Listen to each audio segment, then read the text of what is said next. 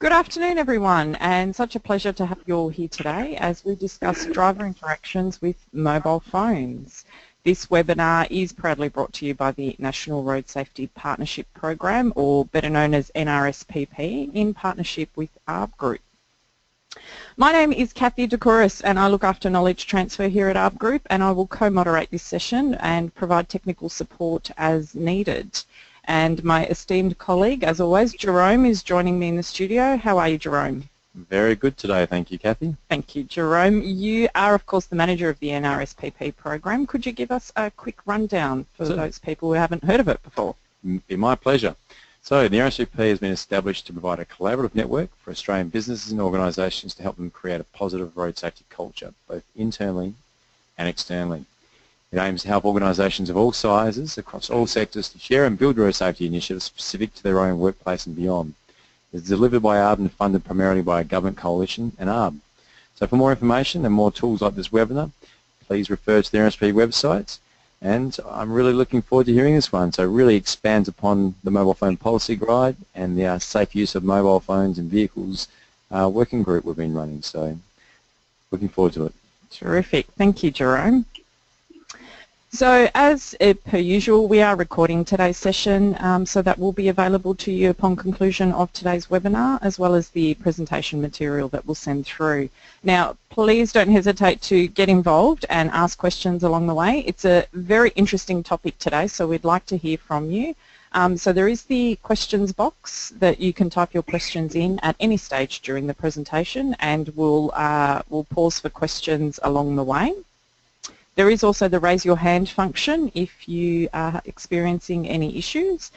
However, we'll move right along and introduce our expert presenters, Mike Regan and Mitch Cunningham. Uh, welcome to you. First up we have Mike Regan. Mike, could you tell us a little bit about yourself? Hi there, Kathy. Thanks very much for having me. Um, well, for those who don't know me, I'm the uh, Chief Scientist Human Factors of the um, ARRB Group uh, the Australian Road Research Board, as it will be called um, in the future. Uh, I'm an adjunct professor at the University of New South Wales, and I've been doing research on driver distraction uh, for more than a decade now. Um, I've written a couple of books on driver distraction with colleagues, um, sit on a few expert committees, um, and when I was working in Europe a few years ago, created the um, Driver Distraction and Inattention Conference Series. Um, I've just spent four months in Boston uh, writing what I think is the first theory of driver distraction.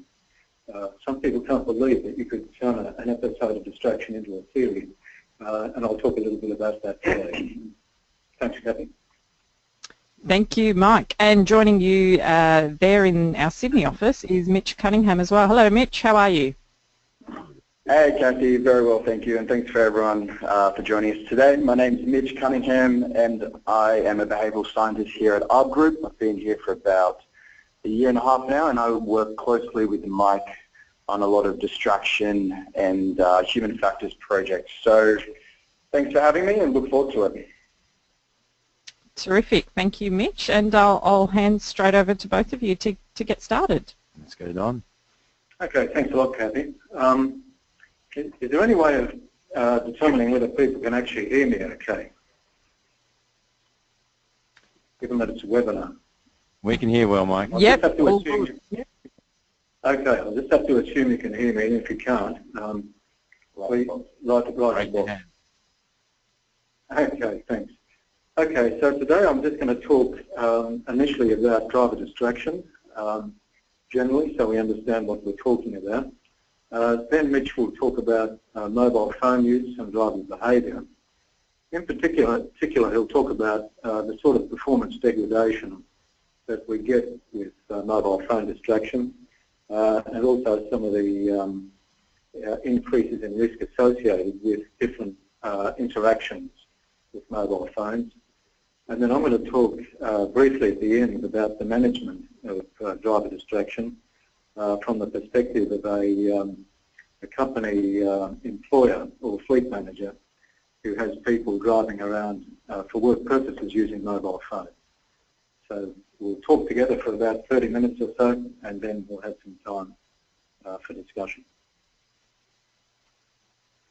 I, I, think there's enough converging evidence now um, around the world to be able to say with some degree of confidence that distractions significant road safety problem. That wasn't so a decade ago, but it's certainly recognised as a problem now. Um, if you look at data from the US, um, quite recent data, only about uh, a year old, about 18% of uh, injury crashes in the US um, derive from uh, driver distraction. About 10% of fatal crashes derive from, from uh, distraction. And about 14% um, of the 10% of fatal crashes involve cell phone use. Um, here in Australia, um, we don't have a lot of um, a lot of data. There was one good study that was done recently uh, by the Monash University Accident Research Centre, um, in which they uh, classified different forms of inattention, uh, including distraction, um, from a, uh, what's called an in-depth crash study that had been undertaken. Um, and when they looked closely at the data to determine what forms of um, inattention were involved, they found that inattention generally contributed to about 58% of the crashes in that study sample, and about 16% of the crashes were due to driver distraction. And interestingly, they found that about 70% of the distractions uh, that surfaced in the analysis of that crash data uh, were considered uh, voluntary distractions. So uh, the kinds of distractions that, that people expose themselves to um, where they had some choice in whether or not to do that. So, so the data, I think both in the US, is complementary. A government survey was uh, carried out a couple of years back and found that in terms of the prevalence of phone use uh, here in Australia, about 93% of drivers in that sample um, owned a mobile phone. Uh, almost 60% reported using the phone while driving and a bit over a quarter of drivers reported using a hands-free kit. And uh, so we're, we're, talking, you know, nearly 75% in that sample um, using the phone uh, while they're holding it. And, and, we'll understand in a moment um, why that is problematic. Um, when you take into account um, the fact that there are 24 million Australians uh, at the moment, uh, about 32.5 million mobile phones, um, sorry, did someone ask something? No, I don't think they, anyone can because I can't hear. I heard something. Um, and, um, and what, oh, okay. And so basically, um, we've got more mobile phones than we have Aussies. And so when we're talking prevalences of 59% uh, using the mobile phone while driving, we're talking about a lot of people and a lot of phones. One of the things that's uh, interesting is to compare the, prevalence of mobile phone use compared to other distracting activities. And in a recent study by Tom Dingus and his colleagues in the US, um, if you can see this graph, you can see that of all the things, of all the time that people spent uh, being distracted in the car, the thing that was second most distracting um, was interacting with a mobile phone. So, so not only are, are people lots of people using phones, and not only are there lots of phones out there, but when they're taking trips, they're spending a lot of their time using the mobile phone. We, everyone talks about driver distraction, but not everyone possibly understands what, what it actually means. And there are many definitions that have been uh, coined in the literature. This is one from a peer-reviewed paper that I wrote with um, David Strayer, who's a professor in the United States, who I've done quite a bit of work with. And, and, and for us, and, and, and quite a number of other colleagues around the world who've coined this um, same definition now, it's the diversion of attention away from driving or activities critical for safe driving toward a competing activity, in this case a mobile phone, which uh, may result in inattention. So it's not always the case, according to that definition, that if you are distracted, you'll be inattentive, uh, but most of the time that is the case. There are various uh, mechanisms of distraction that I'll talk briefly about now, so you've got a better understanding that during an episode of distraction, what's going on, and that will help to make sense of what we talk about um, as, the, as the talk goes through. By triggering factors, we mean uh, factors that trigger someone to divert their attention away from the phone. And so, as many of you will, will appreciate, um, one of these is driver state. So if you're feeling bored, if you're travelling on a freeway and it's monotonous, and this is especially so for truck drivers, um, the phone is a pretty useful thing to actually speak into uh, to keep you awake. Truck drivers do it a lot, and so, so do the rest of us. Uh, another aspect is, another triggering factor is what we call driver needs. And so what we mean by this is it's often the case that the driver feels compelled to want to be distracted by a mobile phone so that they can communicate with people, get information from people, um, and uh, basically keep connected with the rest of the world. And then there are other factors um, that are more to do with the properties of the distraction source itself, um, which can distract people. So the sound of a mobile phone, when it rings, for example, will distract someone, and uh, most likely involuntarily. Um, a lot of things will distract us um, involuntarily. Um, the sound of an ambulance, um, the sight of something unexpected that uh, happens, the erratic behaviour of a driver in a traffic stream. Um, you can't but help to be distracted by some of these things. And the things that um, distract you involuntarily are, are, likely to be more dangerous because you're less likely to be able to plan ahead for these sorts of um, distractions. The diversion of attention um, when it occurs, can interfere or interrupt with driving or activities critical to safe driving. And, and the interference that that creates um, will be greater if you uh, divert your attention for longer. So if you look at a phone for a long time or you think about it for a long time, that's more likely to interfere with driving. Uh, the more frequently you divert your attention towards, in this case, the phone, the more likely it is that it will interfere with driving.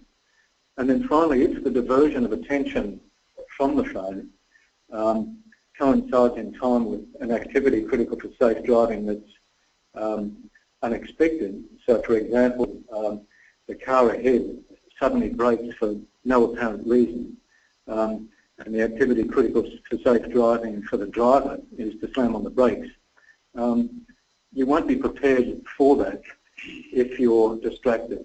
And we know that distraction mainly causes crashes when unexpected things happen and people are inattentive. People talk about different types of distraction, um, and I don't totally agree um, with the way that um, people differentiate the different types of distraction. Um, but for today's, purpose, for today's purposes, to keep it simple, I'll talk about the types of distraction that are normally talked about in the literature on distraction. In relation to the phone, this can be a visual distraction, uh, which, which most people would say takes your eyes off the road, but in fact it takes your eyes and your mind off the road. Um, if you're looking at a phone to send a text message, um, you'll be thinking about what you're doing when you send that text message. So to say that something takes one's eyes off the road um, certainly doesn't exclude the fact that your mind is probably um, and invariably off, off the road as well at the same time. People also talk about what we call cognitive or internal distraction, and, and that, that really means having your mind off the road. So that's having your attention off the road. Um, and as I said, the driver, a driver's mind off the road, can, a driver can have their mind off the road um, as well as their eyes off the road at the same time. And finally, people sometimes talk about biomanual or, or biomechanical interference.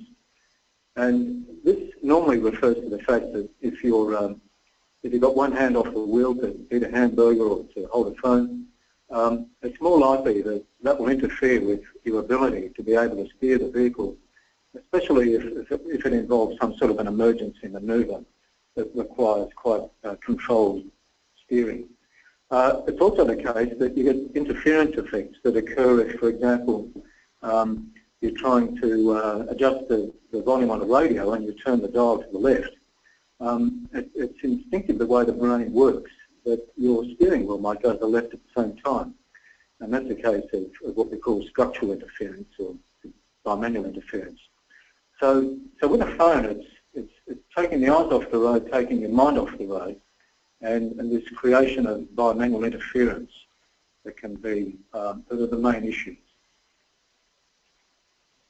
One of the things that people don't often think about is the fact that when we do take our eyes off the road, or our mind off the road, or a hand off the steering wheel, um, but this, this can occur, this can interfere with driving, but and, and people I suppose understand that, but, but people don't often will um, think about what driving actually involves. And a guy called Ivan Brown from Cambridge University a few years ago uh, tried to define what are the high-level activities uh, that are critical for driving. And as you can see from this slide, they include route finding, in other words, working out where you've got to go uh, with a paper map perhaps or, or, with a satellite map system, which makes it easier. Uh, following the route that you've got to follow, and uh, that's much easier if you're familiar with the route. Um, steering and velocity control, um, collision avoidance, which is where most of the research has been done on the effects of distraction on driving. Um, traffic rule compliance, so distraction can interfere with your ability to, for example, detect that traffic lights are changing or that they're red or could um, uh, result in you not stopping at a, a set of um, stop signs. There are lots of different ways in which rule compliance can be affected. And, and interference from a mobile phone can also disrupt vehicle monitoring. And by that, we mean uh, monitoring things like your speedometer uh, and other uh, instrumentation in the vehicle that need to be uh, periodically monitored to drive. So, so when we think about eyes off the road, mind off the road, and hand off the wheel, um, those behaviours can affect any one of these um, functional activities of driving. And the degree of interference that is brought about um, really will be a function of the joint demand of driving and phone use. So if, if the driving is um, resource intensive, if it's difficult, and if the um, phone activity is complex like texting, uh, there'll be more interference. Um, if driving and using the phone um, compete for what we call the same uh, physical or mental resources, so for example, if, if uh, you've only got one set of eyes that you can use to look at things, any one thing at the one time, and so if you have to look at a phone and look at the, uh, the road at the same time, there'll be competition um, uh, by the road and by the phone for vision, and that will be a problem. And similarly for other, for other parts of the brain itself. And how the driver distributes their attention between driving and the phone is another factor that, in, that uh, will influence the degree of interference. So for example, if they do spend a long time looking at the phone, rather than having uh, brief glances between the phone and the road, um, then there will be more interference. To finish off this final bit on mechanisms, I just wanted to mention that um, there, are, there are various moderating factors, um, and I've, I've, referred to these in some of the literature that I've published um, with others, um, that will determine how much interference there will actually be um, when a phone distracts you. Um, and they are things like driver characteristics. So we know, for example, that uh, younger drivers, uh, from an exposure point of view, are more likely um, to want to use a mobile phone than older drivers. So they will be exposed more to distraction. Um, but in addition to that, uh, they've got less uh, spare attentional capacity available to deal with uh, distraction because distraction does involve that diversion of attention to other things. And they will be more effective than, say, someone like me who's a bit older and more experienced by the same source of distraction. So two people can be presented with the same source of distraction, but it can be more distracting for one person than the other. I've mentioned driving task demands, so of course, if, if the driving is tough and you're in a high workload driving environment, perhaps going through an intersection, then if something distracts you, it will have more of a, an effect on driving performance and safety than in a uh, less demanding environment. The demand of the secondary task itself will increase the level of distraction, and Mitch will talk about that. So if you've got a, uh, an activity like texting that takes your eyes off the road, your mind off the road and a hand off the wheel if it's manual texting, and that's a very high demand activity. And if you spend a lot of time looking at it and thinking about it, and a lot of time with your hand off the wheel, it'll be more distracting. And the final thing is self-regulation. And what we mean by that is that drivers themselves can adapt to some extent uh, to compensate for the effect of the distraction. So at one level, for example, they could decide to turn off the phone and then they won't be distracted at all. At another level, they could decide uh, that when they drive through through an intersection, they'll, they'll tell the person at the other end, look, I've just got to stop talking for the moment because the workload's high and um, I just need to focus on getting through the intersection. Um, and at another level, they could slow down, they could um, increase their um, inter-vehicle um, headway between themselves and the vehicle in front to give them a greater margin for error. So people can do that, and we do that all the time. Uh, the problem is it doesn't always work, and that's why there are so many distraction-related crashes. Um, but it doesn't mean that we can't train people, and I'll talk about this towards the end of the uh, talk, about ways in which you can improve people's ability to self-regulate. Um, so that's all I wanted to say at this stage, Kathy, and, and um, if there are any questions, I'm happy to answer them before I hand over to Mitch.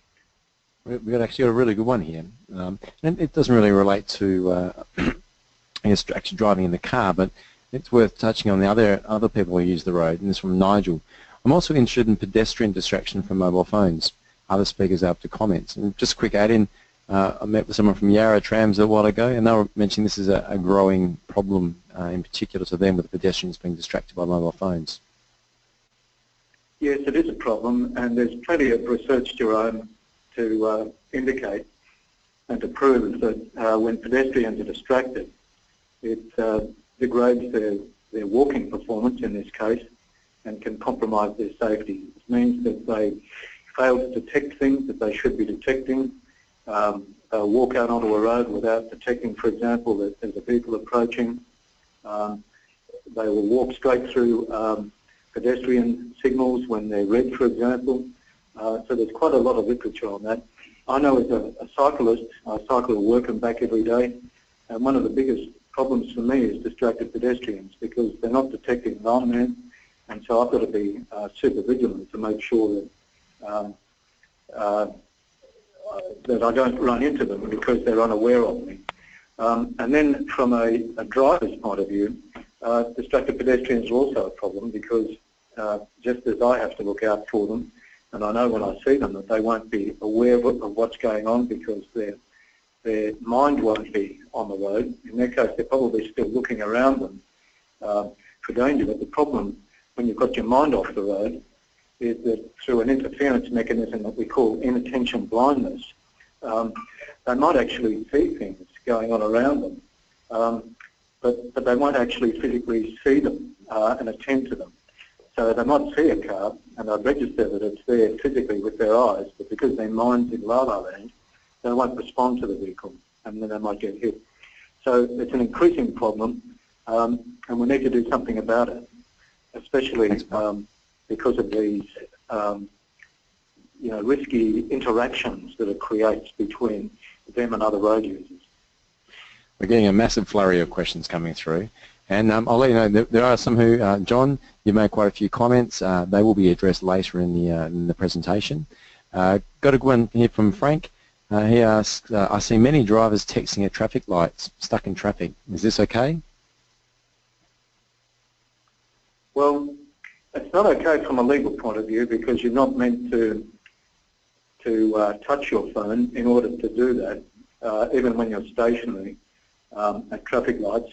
Um, but if you're going to do it, that's probably one of the um, one of the more safe um, times to do it in the sense that the vehicle's not travelling, and so at that point in time, you're not having to um, uh, look out for a danger. The problem, though, in doing that, of course, and we see it all the time, is that people um, will be looking at their phone, thinking about it, sending text. The next minute the lights change. Um, if the person behind them expects them to travel through the traffic lights and, and they don't, uh, I've seen many crashes occur for that reason, that the car behind just rams into you thinking that you'll to go forward. And that's actually happened to me. I've been tail-ended um, by someone I wasn't actually texting myself. Um, I had someone else texting when they rammed into me that I've seen people being rammed into when they're when they're texting. So less of a problem, I'd, I'd, I'd say, but um, but it's illegal. Um, thanks for that. We'll do one more question and we'll move on. And some of the questions, once again, will be answered a little bit later on, and I'll draw them into the next sort of sec section. Um, so I've got one here from Rod. Is there any reason from an offence perspective why two-way radios are not treated the same as mobile phones, especially considering a phone has a hands-free function and a radio does not? I think that's a really excellent question. Um, and it's a question I've been asking road authorities for, for many years because a two-way radio is actually a bit more complicated uh, to use and does require manual interaction um, for most uh, devices. Um, and so I think the only reason why it's allowed is because it's classified legally as a uh, worker's aid, I think, in the um, in the regulations that relate to uh, mobile phone distraction. Um, but certainly the evidence I've seen, and based on the theoretical issues we talked about at the beginning of this um, this talk, um, using a, a two-way radio will take at, at, least one hand off the wheel. It will take uh, the mind off the road, and it will probably take your eyes off the road when you're um, when you're trying to locate the position of it within the vehicle, unless you can reach for it without looking at it. Uh, and so it's essentially no different from a, a mobile phone, which uh, is easy to talk into and could, and, uh, um, and uh, in most cases, with a, with a cradle, is hands-free. Thanks for that. Uh, Jim went a bit further to clarify my question. Eye on road, mind off road equals having a hands-free phone conversation. Okay, Mitch, Mitch is going to talk about uh, that shortly. But essentially, the literature shows that there's there's no real um, difference between having a, a, phone conversation when you're holding the phone and when the phone is hands-free, as far as the literature um, uh, is concerned. Um, but the problem is um, that if you get yourself into a sticky situation and you don't have that both hands on the wheel for steering control, uh, then that will be problematic. And there hasn't been um, research specifically on that topic that I know about.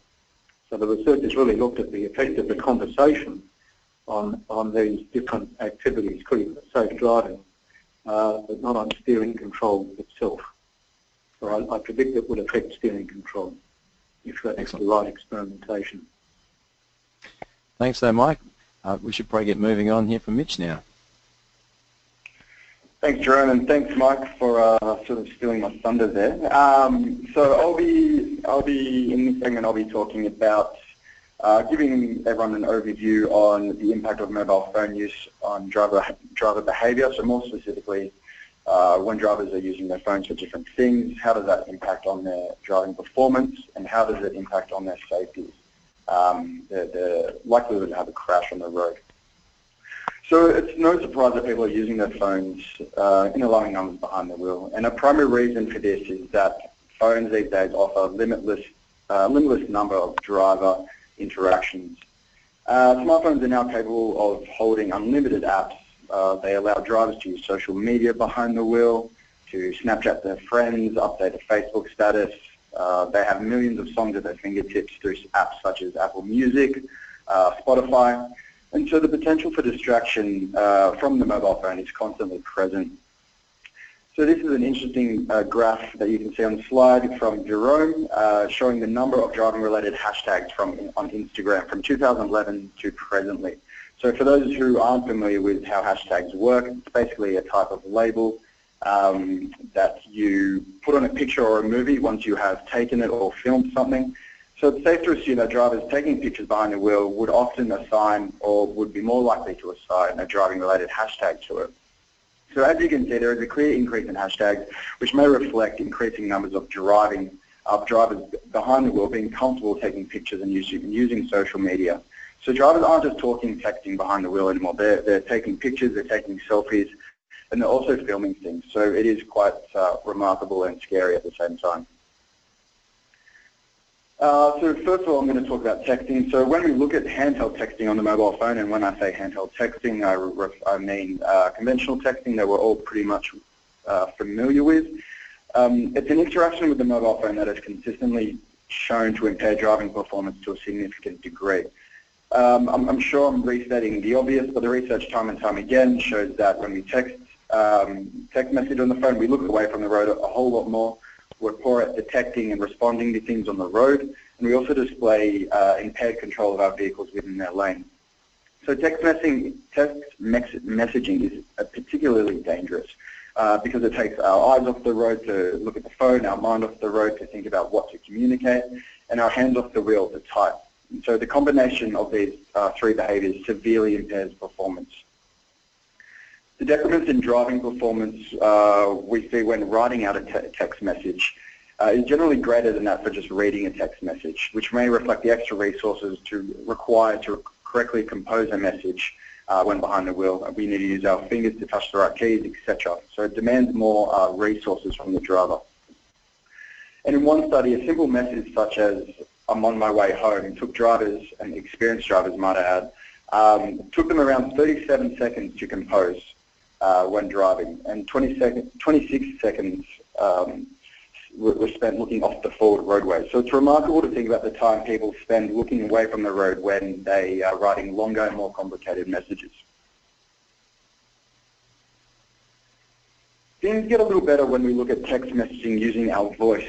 So when I say this, I'm talking about using uh, Siri and other voice-to-text phone applications, which are quite commonplace on phones today. So you speak into the phone and a text message magically appears on the screen. When we compare this voice texting to manual texting, we do indeed see some benefits. Drivers are better able to control the vehicle, um, and it also keeps their eyes on the forward roadway a lot more. However, when we compare voice texting to not texting at all, it still impairs performance. So the take-home message is that texting using Siri and other voice applications uh, still takes mind, our mind off the road and produces a level of cognitive distraction. Um, and this is, this is what can, can impair performance. Um, these voice apps are supposed to take, or to leave our, our eyes uh, on the forward roadway, but it can still take our eyes right off. And this is, big, and this is because we need to verify, we usually need to verify the message as we, we can, I'm sure we can all appreciate that um, Siri is not perfect and we, there's usually some auto corrections in there. And so we need to double check that what we're saying is actually communicated in the text message. So it does take our eyes off the road and we can get a bit annoyed at the system for not doing it correctly. So there's other things to consider here. So what is the safety risk when we're text messaging uh, behind the wheel? And so text messaging is one of the driver behaviours that has been consistently shown to increase the risk of having a crash in real, in real world studies or naturalistic driving studies where the driver is filmed over months and vehicle data is collected, which, is, which allows us to see what happens in the seconds uh, before a driver may have a crash. So here, the, the, there's a number of naturalistic driving studies shown before you on the slide, each showing the crash risk when text messaging behind the wheel. Um, the crash risk of just one, um, of course, there is some crash risk involved with just driving, and other values represent the risk of having a crash compared to this baseline value. So these are odds ratios. So for example, you'll see for Klauer and colleagues 2014, um, this study found that drivers that text message behind the wheel were 3.87 times more likely to have a crash compared to just driving. Um, again, these are, these are all expressed in odds ratios, and in this context, a high odds ratio reflects a greater risk of having a crash. If we jump, and, and, and I'm very happy to chat about how these uh, odds ratios are derived mathematically offline, so we'll take a little bit more explaining. Um, so if we jump to Olson in 2009, right at the end there, we see that text messaging uh, was found in this study to be associated with a 23 times increase in crash risk. There was also another study here using truck drivers, I think by Hickman, finding that text messaging behind the wheel um, put drivers at risk at 167 times uh, the risk of having a crash compared to just driving. So the statistics are remarkable. Um, the safety risks with manual text messaging are couldn't be clearer and couldn't be more consistent across studies in the fact that it does increase crash risk. Surprisingly, not many studies have looked at the link uh, between social media use and driving behavior. However, the, the, the few studies that have uh, that have looked at the link, um, I found that I found similar types of performance performance decrements when, say, writing a Facebook message or updating your Facebook. Um, they're similar to those uh, associated with text messaging. So you, people have poor lane keeping ability and they're poor at detecting things uh, like hazardous events on the road. And I guess this, this can be very much expected these interactions using a Facebook, writing a message on Facebook, uh, demand the same behaviors from the driver. They take our eyes off the road, they take our mind off the road, and they take our hands off the wheel to compose the message. So perhaps not many surprises there. And unfortunately, no naturalistic driving studies, uh, to the best of my knowledge, have targeted social media use while driving. So this may be because social media use may be hard to discern from other activities such as text messaging if all we have to go by uh, is video footage of the driver.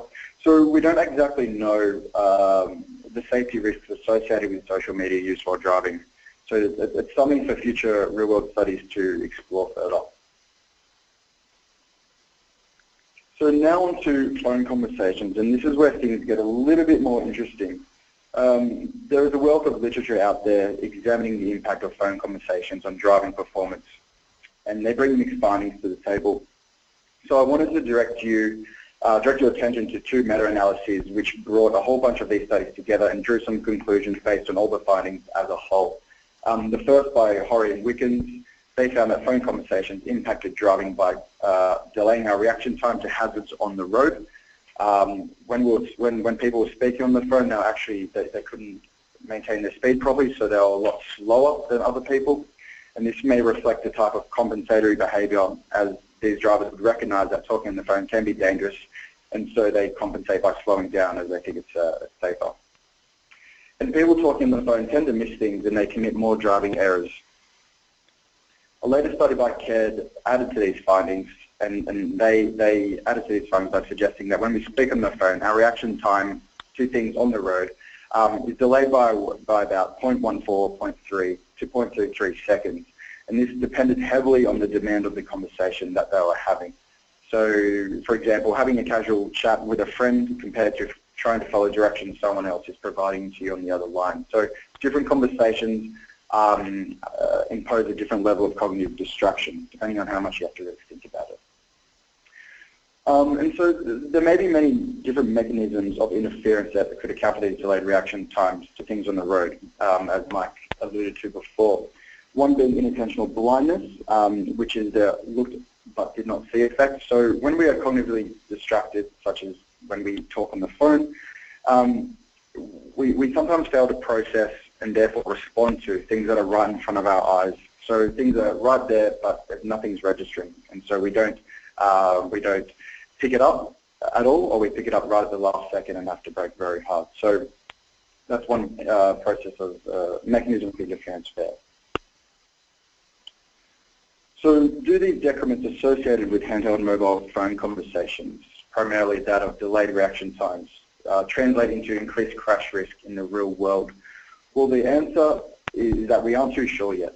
Uh, some studies have found that conversations don't increase the, the risk of having a crash at all. Um, others actually suggest that speaking on the phone uh, reduces crash risk and has a type of protective effect. So actually, so having a conversation while driving is actually safer than just driving. And it wasn't really until uh, it wasn't until recently that a study found that conversing on the phone more than doubled your risk of having a crash uh, by a factor of 2.2 to be specific. Um, and so there is a discrepancy here between, between the findings of the real-world studies, and I'm happy to discuss these and why this may be the case um, with anyone interested offline. Uh, contrary to popular belief, hands-free phone conversations aren't much better, if at all. Uh, studies have consistently found that conversations, despite whether being on a handheld or hands-free phone, are no different in their ability to impair driving performance. And this is because conversations, despite holding the phone or not, create a level of cognitive or internal distraction. Uh, when we're having the conversation, whether it's hands-free or handheld, we think about what we want to say, we how to, uh, how to say it, and process what is communicated back to us. And this takes attention away from the driving task. And like handheld conversations, the real-world driving studies present mixed findings in terms of whether hands-free conversations actually increase crash risk. So we don't actually have a clear picture of the risks involved with hands-free conversations just yet. So what do we do about the problem of drivers using their phones behind the wheel? Do we, do we ban all phone use altogether? Well, the research may suggest that this approach may not necessarily be fruitful. This graph uh, that you can see in front of you uh, came from a recent study by McCartan in 2014, showing the link between collision claim rates before and after a phone ban in Connecticut, which is depicted by the squiggly blue line, uh, compared to comparison states with no ban, uh, depicted by the squiggly red line. So, and as you can see, after the ban was uh, in place, we don't see a reduction in collisions as one would expect. Uh, in fact, we see a sudden increase in crashes. And there's a number of reasons why bans may not be uh, effective. Uh, one, firstly, people may think they can safely manage uh, phone use and driving, so they don't think the phone, the ban should apply to them. Uh, secondly, it may force people to be extra sneaky with their phone use and use it in their laps, as you can see in the bottom right picture, um, which can take eyes uh, completely off the road and may inadvertently increase crash risk. And so these people are using their phones uh, in sneaky ways because they don't want to get caught by police. Um, so the bans may not be all that effective, and so we need another approach which Mike uh, will touch on next. But I think for now, this might be a good time for some questions. Certainly. Where do we begin? There's, there's so many of them. um, well, let's fire away first of all. Uh, we'll go up to, here we go. Um, so just searching through. Uh, I'm also uh, here we go. Uh, so there's a question here around the naturalistic driving studies, and they found 65% of crashes, near crashes, are, are, due to the distraction issue. Um, and I was saying a lot of the ones in pre-2006 did not involve social media. Did you want to comment about that?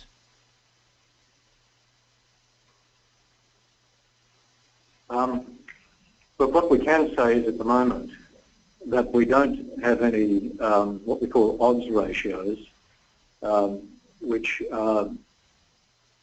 the statistics, if you want to call them that, that give you a sense for the increase in risk associated with engaging in a distracting activity, whether it be talking on a phone, uh, dialing a phone, uh, texting on a phone, uh, for these, these uh, social media uh, type technologies. Um, when we talked about the 65% figure before, uh, from naturalistic driving studies and also from um, the analysis of in, in-depth crash data, um, that's for inattention, uh, not for distraction specifically. Um, normally we find that distractions are contributing factor in a smaller number of, of um, crashes, probably around about 15 to 20 percent depending on the study.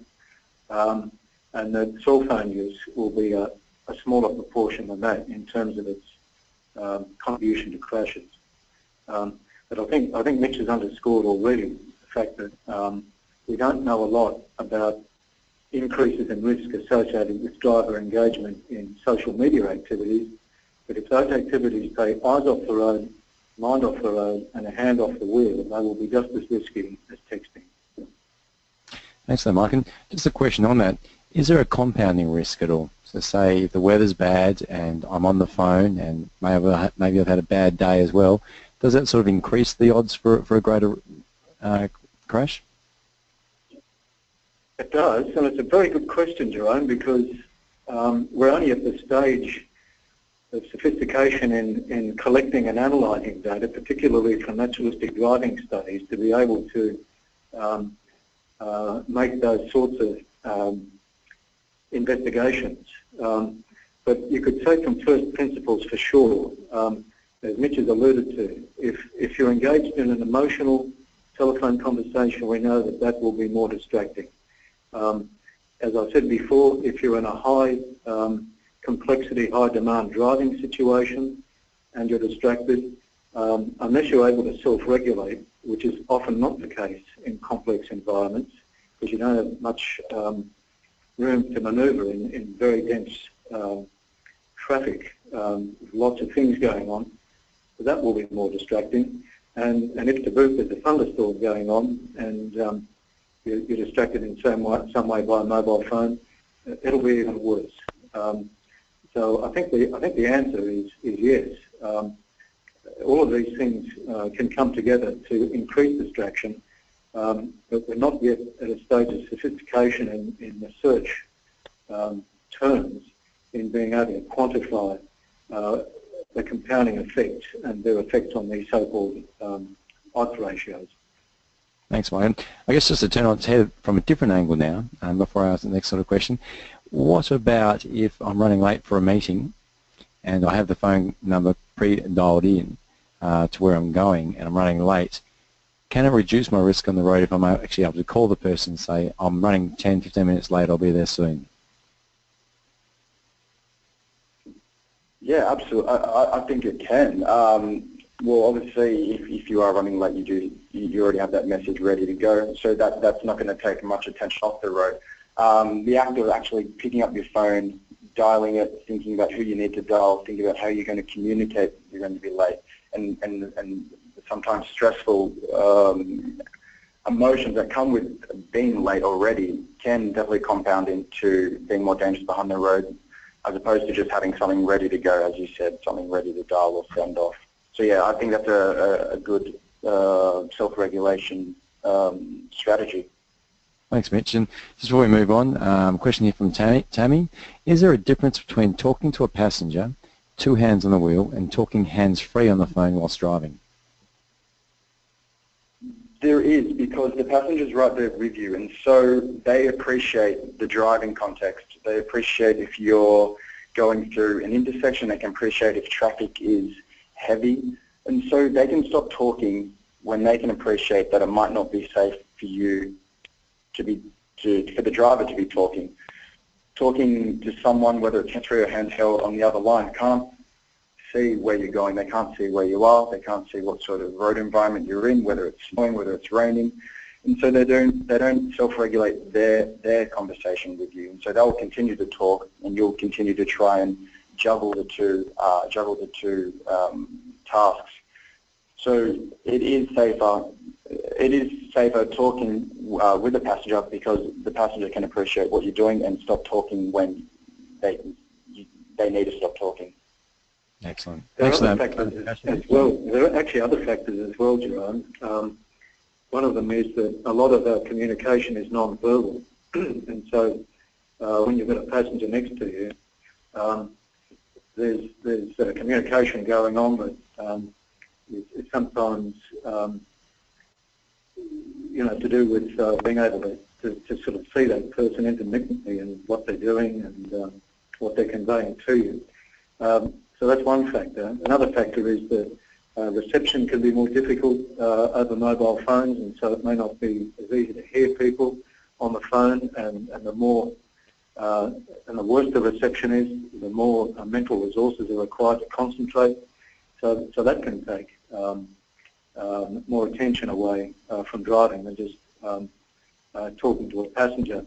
The other thing too is that um, there are often social imperatives when people perhaps have, have their boss at the other end of the phone um, rather than with them in the car, just to continue a conversation and, and not to self-regulate at times when they know they should because they feel that they don't want to um, the person at the other end of the line or, or upset them. So you, have got all of these factors that come into, into play when you're talking on a phone that aren't necessarily going to be present when you're just talking to a passenger.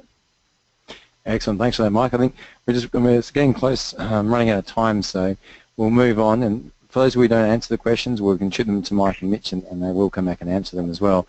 So I think Tammy should be happy with that. So all yours, Mike and Mitch.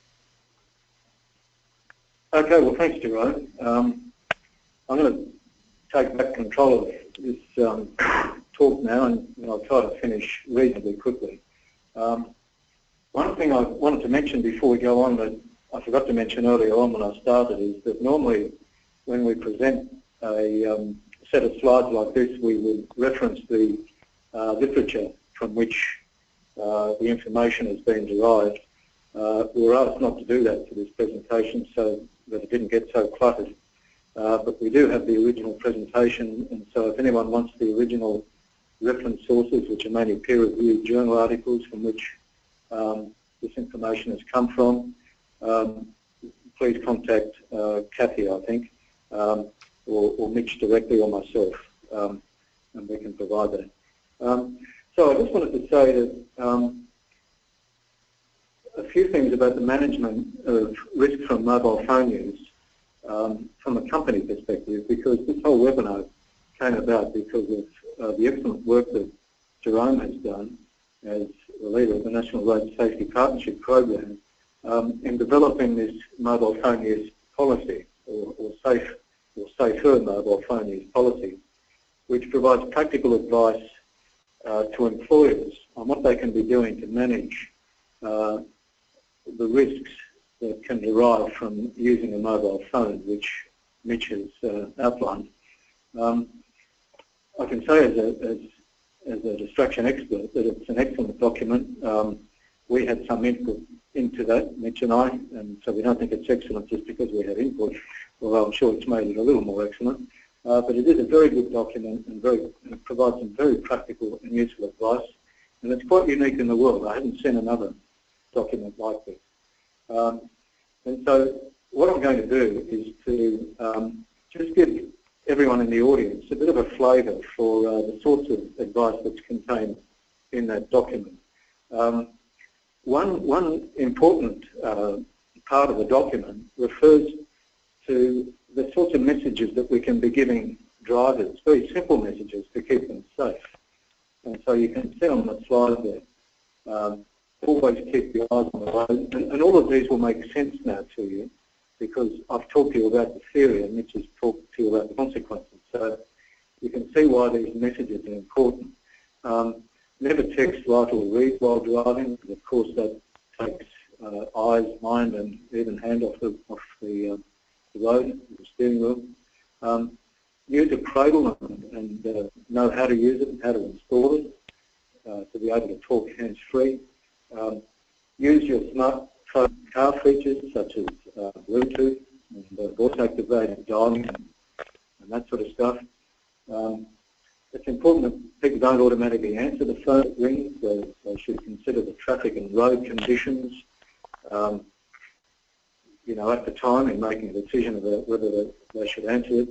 Um, and um, and of course, they should let people know on the other end of the phone, uh, as Mitch was referring to before, that uh, they're driving, and so that people need to that uh, there are times in which um, they want to, um, you know, tone down the conversation or stop talking uh, completely if they if they need to.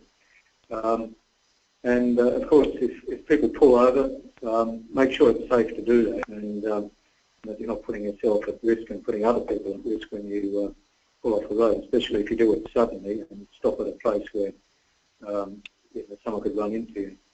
Um, and it is particularly important also when you're on a phone to be aware of vulnerable road users. And I think we underscored this point before, as Mitch was saying. Uh, one of the sub-mechanisms by which um, distraction uh, interferes with driving is through these more subtle um, psychological mechanisms like inattention blindness. So um, you know, if you are cognitively distracted and there are lots of uh, pedestrians around you, you might physically see them, uh, but you, you might not respond to them because your mind's in that area. So we need to keep that firmly in mind. There are quite a few things from the employer's perspective that can be done to uh, manage driver distraction from, um, from phones and to, um, to ensure that the risks are reduced as far as possible. Uh, one of them is to as we say in the, as we said in the, um, the document, to establish a baseline. So that's basically to determine how existing policies, procedures and technologies are used by employees and how effective they are. And if you, if you get a hold of that document, um, the uh, Australian Fleet Managers Association, or AFMA, um, has a survey, an online survey that organisations can use uh, to, to, help establish that baseline to um, work out what the existing uh, phone habits are of people um, that are in your company who are using phones and, and also to collect information on how managers are, are interacting with workers um, while they're driving. The second thing that can be done, of course, is um, the second thing is education Uh, there's a lot that employees can do. Uh, education is important so employees understand and accept the risks associated with using mobile phones while driving.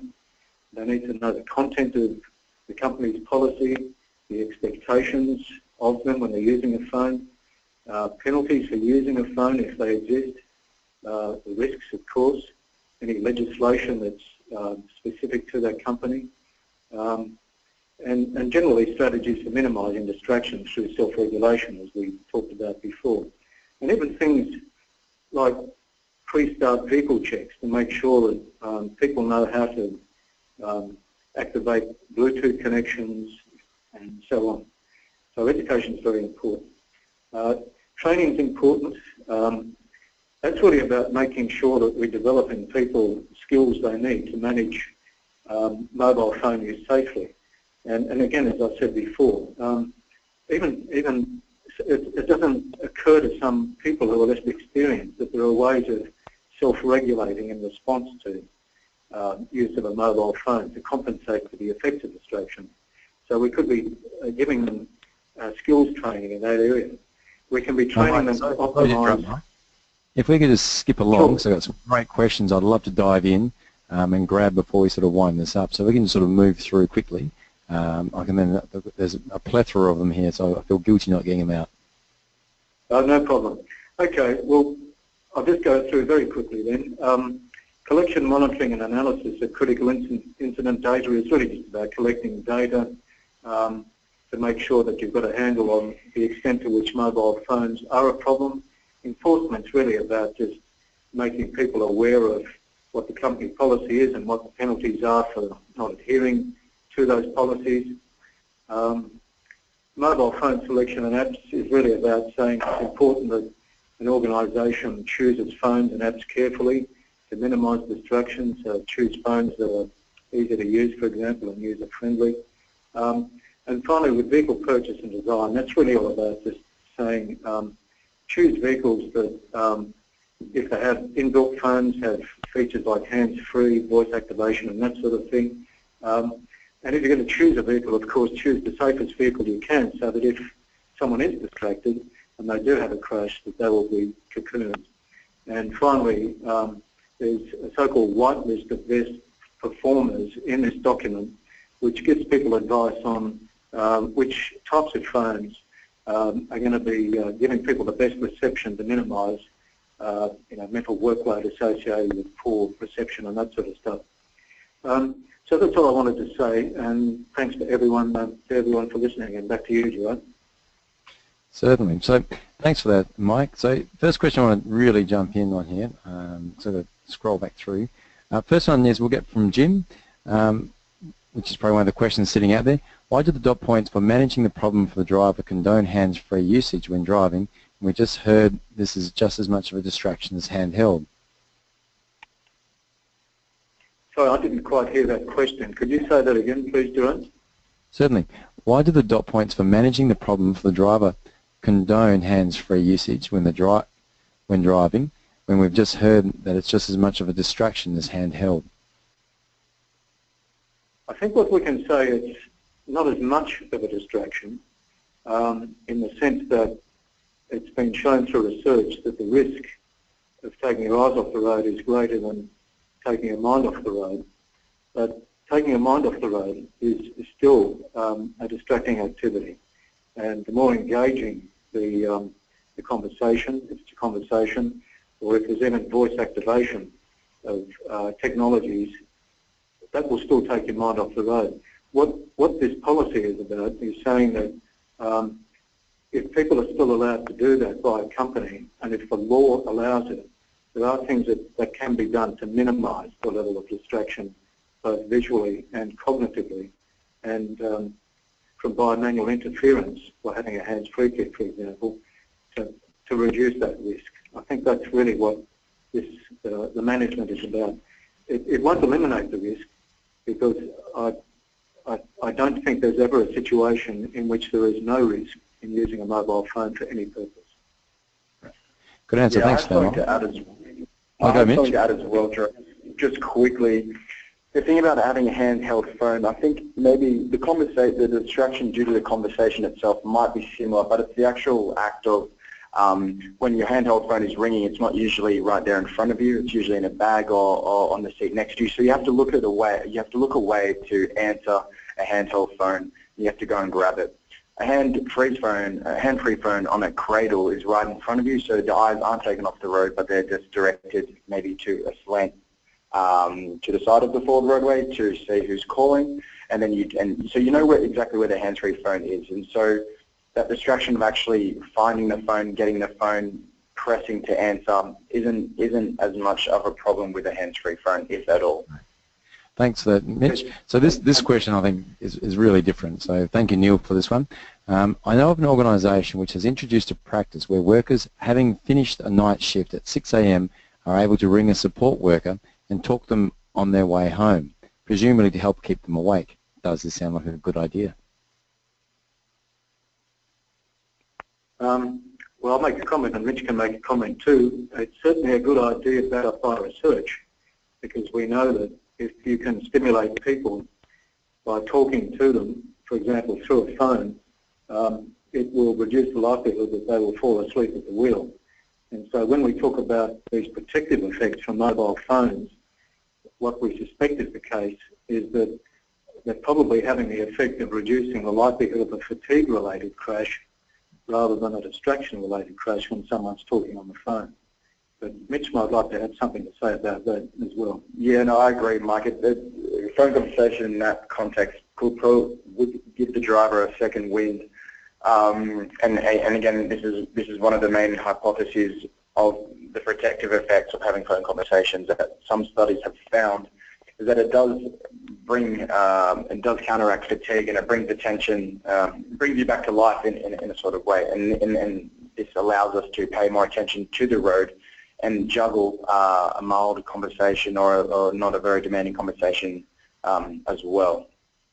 I just, I'd just like to add that, you know, you wouldn't want to be encouraging people to have phone conversations for hundreds of kilometres after they've finished a 6 a.m. shift. Um, so, you know, it's got to be a sensible policy. If it's a short trip home, and this is a way of keeping them stimulated on a short trip home, that's fine. But if it's a long trip, uh, I think a fatigue expert would probably say it would be better to um, take a bit of a bit of a nap uh, before uh, continuing the journey, um, which is probably um, even more likely to um, you know, uh, rejuvenate you after a after a night shift than um, just talking. Excellent. Thanks for that, Mike. And Mitch, I'm very sorry we haven't been able to get to all of the questions. There's been so many of them have come through. Uh, and thank you all for your time today. So maybe you want to flick through to your contact details, Mitch and Mike. And I'll hand back to Kathy. Thank you, Jerome, and thank you everybody for getting involved. We could have a whole nother webinar just based on the on the questions that have been asked alone. So, uh, so perhaps I will talk Mike and, and Mitch into that, maybe a, a Q&A session next time. Um, if we can't do that, then we will get to you, back to you via email. But thank you so much to Mike and Mitch for taking the time out and, and putting together this uh, great presentation today. Much appreciated. And thank you very much, Jerome, for, for bringing us this as part of the National Road Safety Partnership Program. Good afternoon, everyone. Have a lovely day and see you next time. Thanks, Kathy. Thanks, Kathy. Thanks, Jerome, for moderating, and please feel free, anyone, to give us a shout over email with any other questions or anything a bit unclear. We're happy to help out. Terrific.